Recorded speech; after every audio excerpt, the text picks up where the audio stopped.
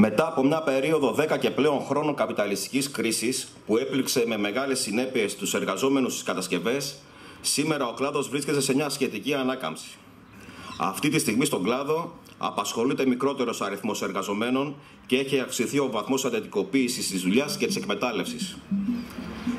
Στην ιδιωτική οικοδομή υπάρχει ανάκαμψη πανελλαδικά, όπως και στην περιοχή μας, ιδιαίτερα σε Καλαμαριά, Θέρμη, Τούμπα και Ευκαρπία. Το πρόβλημα που αντιμετωπίζουν οι εργαζόμενοι στην ιδιωτική οικοδομή, το οποίο έχει πάρει μεγάλες διαστάσεις, είναι η κλοπή των ενσύμων τους. Στα μεγάλα δημόσια έργα, η κατάσταση των εργαζομένων είναι η εξής. Στις μεγάλες κατασκευαστικές εταιρείες έχει συγκρατηθεί το μέσο μεροκάματο γύρω στα 45 ευρώ, με βασικό κριτήριο στη διαμόρφωσή του τα συνεχόμενα χρόνια δουλειάς των εργαζομένων στην ίδια εταιρεία. Σε αυτό το τμήμα των εργαζομένων έχει αυξηθεί η εντατικοποίηση της δουλειάς με πολλές ώρες εργασίας. Στους εργαζόμενους που δουλεύουν σε υπεργολάβους, το μεροκάματο είναι μικρότερο και το πρόβλημα του ενσύμου οξυμένο, γιατί οι υπεργολάβοι αναλαμβάνουν τμήματα της συνολικής κατασκευής του έργου, εντάσσοντας στι προσφορές τους την κουτσουρεμένη ασφάλιση των οικοδόμων. Αυτή την περίοδο υπάρχει κινητικότητα στις μεγάλες κατασκευαστικές εταιρείες με το ενδιαφέρον να επικεντρώνεται στο Ταμείο Ανάκαμψης και τα δισεκατομμύρια που το συνοδεύουν.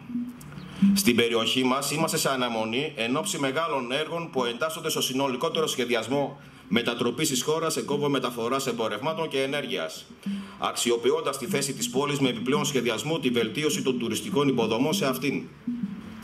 Χαρακτηριστικά είναι τα έργα που αναμένονται σε λιμάνι, flyover, ΔΕΦ, κτλ. Αυτοί μας λένε ότι είναι η λύση για τον κλάδο. Να ευχόμαστε να γίνουν οι επενδύσεις για να έχουμε μεροκάματο. Όμως, συναδέλφες και συνάδελφοι, αυτή τη λύση το δοκιμάσαμε. Είναι η συνταγή που οδήγησε στην κρίση της προηγούμενης δεκαετίας. Είναι η ίδια συνταγή που οδήγησε σε μεροκάματα και μισούς ντροπή για το σύνολο των εργαζομένων του κλάδου. Το τυράκι που μας ρίχνουν δεν μπορεί να κρύψει, να κρύψει πλέον την παγίδα. Το ζήτημα της υπογραφής συλλογικής σύμβασης εργασίας είναι ένα μέτωπο που απασχολεί διαχρονικά τα συντηρητικά όργανα του κλάδου. Οι συλλογικές συμβάσει εργασίας που υπογράψαν μέχρι το 2009 τραβήξαν προς τα πάνω τα μεροκάματα του κλάδου και αποτέλεσαν μια ασπίδα προστασίας απέναντι στην εργοδοτική αυθαιρεσία και επιθετικότητα.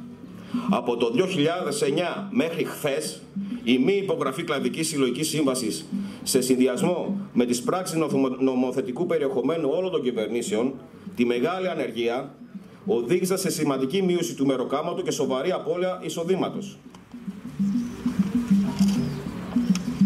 Ο αγώνας στον κλάδο όλα αυτά τα χρόνια ήταν μακρύς. Δύσκολος, αλλά στοχοπροσιλωμένο στο βασικό. Την υπογραφή κλαδικής συλλογικής σύμβαση εργασίας με οργάνωση μόνο τα τελευταία τέσσερα χρόνια έξι κλαδικών απεργιών και συμμετοχή σε 11 πανελλαδικές πανεργατικές 24 ώρες απεργίες. Η επιτυχία της υπογραφής κλαδικής σύμβασης εργασίας μετά από χρόνια είναι αποτέλεσμα του οργανωμένου αγώνα των πανελλαδικών απεργιακών κινητοποιήσεων και των παρεμβάσεων της Ομοσπονδίας και των οικοδομικών σωματείων μέσα στους χώρους δουλειάς. Αποτελεί ένα πολύ μεγάλο όπλο στα χέρια των οικοδόμων που θα αξιοποιηθεί άμεσα και ουσιαστικά για νέες κατακτήσεις και βελτίωση των όρων δουλειάς και ασφάλισης. Συναδέλφε και συνάδελφοι, μόνο κουράγιο μπορεί να μας δώσει αυτή η κατάκτηση που κατοχυρώνει η αύξηση στα μεροκάματα έως και 38% που διευρύνει κατακτημένα δικαιώματα.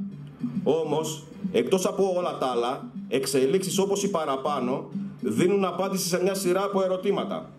Όπως το πώς τσακίζονται στην πράξη οι αντρεγατικοί νόμοι, μέσα από ποιο δρόμο οι εργαζόμενοι μπορούν να πάρουν ανάσες, ειδικά σε, σε μια περίοδο όπως η σημερινή, με την ακρίβεια να τσακίζει κόκαλα. Τι δεν κάναμε λοιπόν οι οικοδόμοι και οι συνδικαλιστικές μας οργανώσεις με την Ομοσπονδία μας στην πρώτη γραμμή; Δεν παραπέψαμε τις δίκαιες διεκδικήσεις μας στην αναμονή για κυβερνητικές εναλλαγές. Δεν αναζητήσαμε σωτήρες πέρα από τη δική μας μαχητική οργάνωση και δράση σε κάθε χώρο δουλειάς. Δεν ανεχτήκαμε τα καλέσματα προσμονής για περισσότερες επενδύσεις ως λύση για τα προβλήματά μας. Δεν θέσαμε τον πύχη μέχρι εκεί που αντέχει η οικονομία, δηλαδή τα κέρδη των επιχειρηματικών ομήλων. Δεν σηκώσαμε τα χέρια ψηλά, όπως καλούσε η κυβέρνηση μέσα στην πανδημία.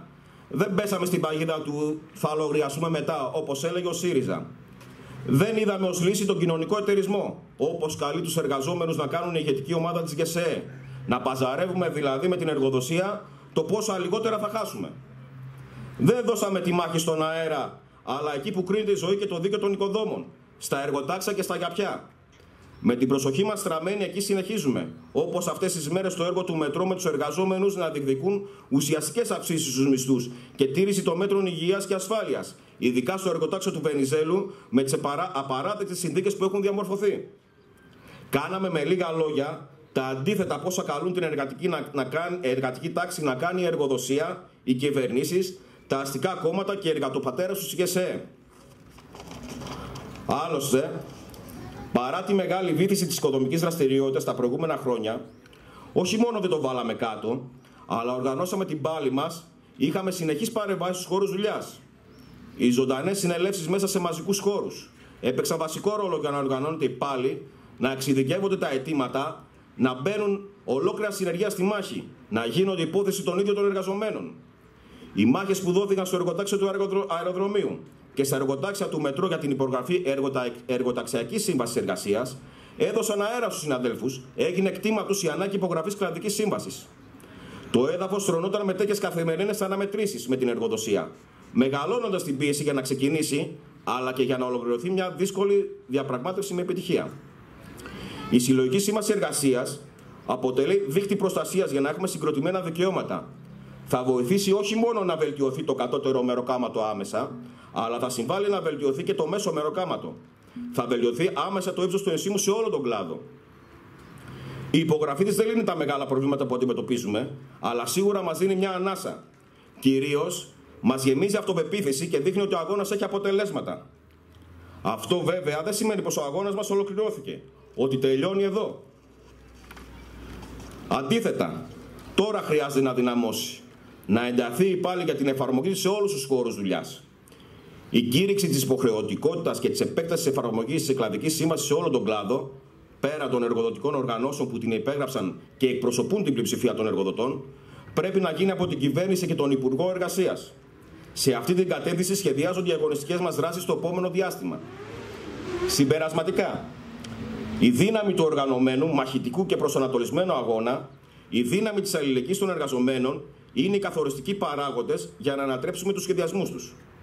Να σταματήσουμε το παραμύθι της αναποτελεσματικότητας των αγώνων, των χαμένων αγώνων. Δεν έχουμε ανάγκη από κυβερνητικούς σωτήρες.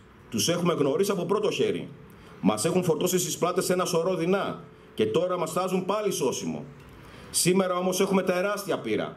Έχουμε ακούσει πολλά από φιλελεύθερους, δίθεν προοδευτικούς, αυτοαποκαλούμενους αριστερούς και αποκεντρώους. Έχουμε δει τις πράξεις τους και ξέρουμε ότι τα αποτελέσματα της πολιτικής τους φορτώνουν τα σπασμένα σε εμάς, τους εργαζόμενους και τις οικογένειές μας, για να στηρίζουν τα συμφέροντα μιας χούφτας παρασίτων. Εμείς εμπιστευόμαστε τη δύναμή μας, τη δύναμη του αγώνα μας. Σε αυτό το δρόμο θα ξεφορτωθούμε βάρη από τις πλάτες μας. Γνωρίζουμε ποιους έχουμε αντίπαλους, ποιοι μας παριστάνουν τους φίλους για να μας ξεγελάσουν. Με αυτά τα όπλα θα αντιμετωπίσουμε όλους αυτούς που μας πολεμάνε και ταυτόχρονα θα ενισχύσουμε τον αγώνα μας σε όλα τα επίπεδα. Στους χώρους δουλειάς, στις γειτονιές, για την αποκάλυψη των αιτιών και των υπευθύνων της βαβαρότητας που ζούμε. Για την ενίσχυση της προοπτικής, για βαθιές αλλαγές και ανατροπές σε όλα τα επίπεδα. Για να ζήσουμε όπως πραγματικά μπορούμε.